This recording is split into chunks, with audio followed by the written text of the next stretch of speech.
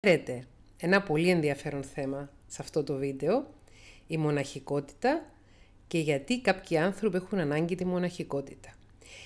Αφορμή για το βίντεο αυτό ήταν ένα σχόλιο κάτω από το βίντεο που είχε γίνει τις προηγούμενες μέρες για τους ανθρώπους που ζητάνε το οξυγόνο τους στη σχέση.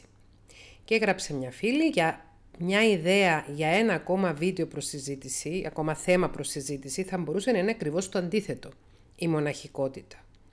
Για ποιο λόγο κάποιοι άνθρωποι έχουν ανάγκη τη μοναχικότητα κάποιες ώρες της ημέρας και για κάποιες ημέρες και χωρίς αυτή να νιώθουν ανασφάλεια, σύγχυση. Πάρα πολύ ενδιαφέρον, ευχαριστώ πάρα πολύ για την πάσα. Ε, είναι ένα θέμα που με αφορά και ένα θέμα που μου αρέσει πάρα πολύ. Η μοναχικότητα, ε, το να μένει δηλαδή μόνος του κάποιος με τον εαυτό του και εκείνη την ώρα που να μένει με τον εαυτό του να βάζει τα συναισθήματα του και τις σκέψεις του σε τάξη, κατά τη γνώμη μου, είναι απαραίτητη προϋπόθεση για να είναι κάποιος άνθρωπος συναισθηματικά ισορροπημένος. Υπάρχουν άνθρωποι οι οποίοι είναι εξωστρεφείς και επιδιώκουν συνεχώς να βρίσκονται μαζί με άλλους και επιδιώκουν την εξωστρέφεια δεν νιώθουν καλά να είναι μόνοι τους και όταν μείνουν μόνοι τους το βιώνουν αρνητικά και ονομάζουν αυτή την περίοδο μοναξιά. Η μοναχικότητα είναι κάτι εντελώς διαφορετικό από τη μοναξιά. Υπάρχει το κοινό στοιχείο ότι στη μοναχικότητα κάποιος είναι μόνος του, αλλά η διαφορά που έχει η μοναχικότητα από τη μοναξιά είναι ότι στη μοναχικότητα ο άνθρωπος συνομιλεί με τον εαυτό του και κάνει δουλειά με το μέσα του κόσμου. Έχω μεγαλώσει σε ένα περιβάλλον πολύ βουό. Το σπίτι μας, το πατρικό μου, ήταν κέντρο διερχομένων με την καλή έννοια. Ε, ο πατέρας μου, όπως γνωρίζετε, περισσότεροι που εδώ στο κανάλι είναι ιερέας, σε μια μεγάλη ενορία της Πάφου και πάρα πολλοί κόσμος καθημερινά έρχονταν στο σπίτι, είτε για να ζητήσουν κάτι από τον ιερέα, είτε να πάρουν τη γνώμη τους σε κάτι και γενικά από μικρή μεγάλωσα μέσα σε κόσμο. Ε, μου άρεσε ο κόσμος, μου άρεσε η κοινωνικοποίηση και δυσκολευόμουν όταν ήμουν μικρή να μείνω μόνη μου. Δηλαδή τις ώρες που έμενα μόνη μου βαριόμουν. Ήθελα παρέα ή έψαχνα άλλα παιδιά για να κάνουμε παρέα. Μεγαλώνοντας σιγά σιγά, ίσως στην προεφηβεία και οπωσδήποτε και στην εφηβεία, άρχισα να απολαμβάνω τις ώρες που περνούσα μόνη μου. Ε, εκείνες τις ώρες είτε έπαιζα πιάνο, γιατί έκανα μαθήματα πιάνο τότε, είτε έγραφα στο ημερολόγιό μου ή σε τετράδιο που γράφαμε εκθέσεις, είτε διάβαζα κάτι, είτε καθόμουνα και έκανα αυτοκριτική. Επειδή ήμουν πολύ θρήσκα τότε, σας το έχω ξαναπεί, καθημερινώς έκανα αυτοκριτική και προσευχή. Εξακολουθώ να κάνω αυτοκριτική και σήμερα που δεν είμαι θρήσκα, καθημερινά. Και όχι μόνο το βράδυ πρωτού πω για ύπνο, αλλά καθ' όλη τη διάρκεια της μέρας. Αυτοκριτική είναι η συζήτηση που κάνεις με τον εαυτό σου και λες τώρα αυτό γιατί το είπα; Έκανα καλά που είπα αυτό, δεν έκανα καλά; Γιατί έκανα αυτή την συμπεριφορά; Τι μπορεί να κρύβεται πίσω από τη συμπεριφορά μου; Ποια είναι τα συναισθήματα που νιώθω; Γιατί νιώθω ωραία αυτή τη στιγμή; Γιατί νιώθω άσχημα αυτή τη στιγμή; Πώς μπορώ να γίνω καλύτερος άνθρωπος; Πώς μπορώ να είμαι καλύτερος άνθρωπος μέσα στον κόσμο. Πώς μπορώ να έχω μια καλύτερη θέση μέσα στον κόσμο, όχι μόνο με την έννοια της κοινωνικής αναγνώρισης και της πρόοδου και της εξέλιξης και της επιτυχίας, αλλά και της δημιουργικότητας και της θετικότητας και της, ε, της θετικής συμβολής στις ζωές των άλλων ανθρώπων. Ε, βρίσκω ότι οι άνθρωποι οι οποίοι είναι ευαίσθητοι, που η ευαισθησία είναι πολύ καλό πράγμα και έχουμε κάνει και σχετικό vlog με αυτό το θέμα για την ευαισθησία.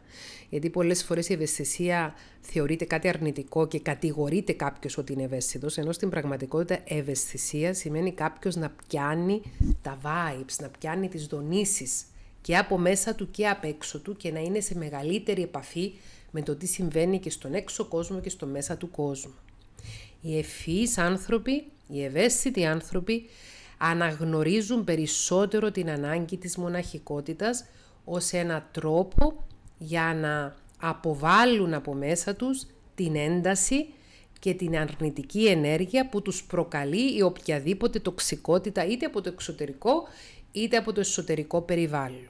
Ένας ευαίσθητος άνθρωπος έχει συνέστηση του τι συμβαίνει μέσα του και καταλαβαίνει πότε έχει φτάσει στα όρια του θυμού, στα όρια της στενοχώριας, στα όρια των αρνητικών συναισθημάτων. Η μοναχικότητα είναι ένα καταπληκτικό εργαλείο που μας βοηθάει να εξισορροπούμε τις, τα συναισθήματα μέσα μας. Να δουλεύουμε τα αρνητικά συναισθήματα ώστε να μπορούμε να τα βιώσουμε, να τα εκτονώσουμε και να φύγουν και να χορτάσουμε, να, να βιώσουμε τα θετικά συναισθήματα ώστε να μην μας παρασύρουν σε μια εξωστρέφεια η οποία μπορεί να αποβεί αρνητική για την ψυχική μας υγεία και ισορροπία. Η πολλή εξωστρέφεια βλάπτει, όπως επίσης και η πολλή εσωστρέφεια βλάπτει. Ο χρυσός κανόνας είναι το μέτρο. Το μέτρο το άριστον είναι έλεγαν οι αρχαίοι πρόγονοι. Δηλαδή ένας άνθρωπος να μπορεί να συνδυάζει εξωστρέφεια με εσωστρέφεια. Κοινωνικότητα με μοναχικότητα. Αν ένας άνθρωπος είναι συνεχώς βυθισμένος στις δικές του σκέψεις και δεν έρχεται καθόλου σε επαφή με άλλους ανθρώπους και είναι εξαιρετικά εσωστρεφής, αυτός ο άνθρωπος κινδυνεύει να πάθει κατάθλιψη. Κινδυνεύει να χαθεί μέσα στα μονοπάτια τα δεδαλώδη του μυαλού του. Ακόμη και να χάσει τα λογικά του ίσως. Όταν είναι συνέχεια μόνος. Όπως επίσης και ένας άνθρωπος που είναι συνέχεια στην εξωστρέφεια και συνέχεια περιβάλλεται από άλλους ανθρώπους και από το θόρυβο και τη φασαρία που κάνουν οι άλλοι άνθρωποι, κινδυνεύει να χάσει την εσωτερική του ισορροπία. Κινδυνεύει να χάσει τη ψυχική του υγεία, να χάσει την ευεξία του, να πάθει πάλι κατάθλιψη ή να πάθει ε, ίσως και μία κόποση εσωτερική η οποία να εμφανιστεί και με συμπτώματα υπερκόπωσης, όπως παθαίνουν πολλοί άνθρωποι. Ή μπορεί να πάθει αυτό που έπαθα εγώ πρόσφατα, που κουράστηκα πάρα πολύ και μετά ε, ήμουν απρόσεχτη καθώς μαγείρευα και έκαψα τα χέρια μου. το φταίξιμο ήταν όλο δικό μου και το φταίξιμο δεν ήταν μόνο στο ότι εκείνη τη στιγμή που διαχειρίστηκα το τηγάνι που μπήκε στο φούρνο και βγήκε και είχε καυτά χερούλια, δεν είχα την προσοχή μου εκεί ώστε να θυμηθώ όταν ξαναεπέστρεψα και ότι είναι καυτά τα χερούλια και να μην τα αγγίξω. Είχε να κάνει και με το ότι δεν είχα λάβει ε, τις απαραίτητες προφυλάξεις προς τον εαυτό μου και τις προηγούμενες ημέρες, τις προηγούμενες ώρες που είχε συμβεί αυτό το περιστατικό, το μικρό ατύχημα στο σπίτι, δεν είχα πάρει αρκετό χρόνο για μοναχικότητα για να μπορέσω να ε, εξισορροπήσω, να αντιρροπήσω, να φέρω σε μία νηνεμία τα εσωτερικά μου συναισθήματα, τα συναισθήματα μέσα μου.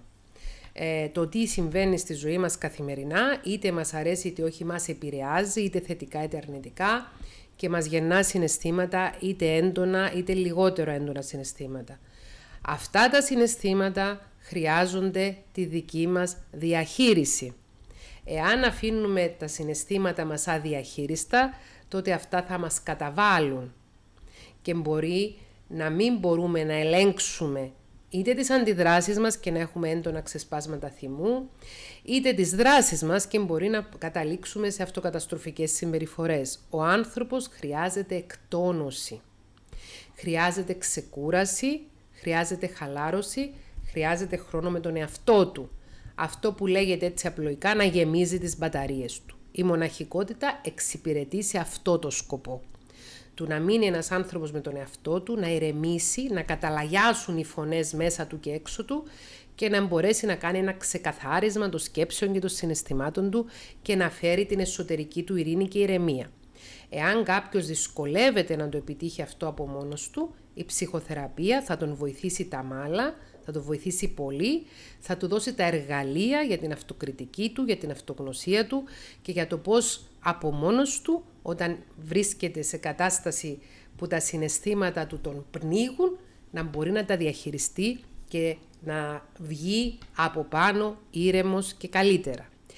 Τώρα μια τελευταία σημείωση που αφορά και το προηγούμενο βίντεο στο οποίο το ερώτημα ήταν όταν κάποιος θέλει τον οξυγό, το οξυγόνο του σε μια σχέση τι σημαίνει.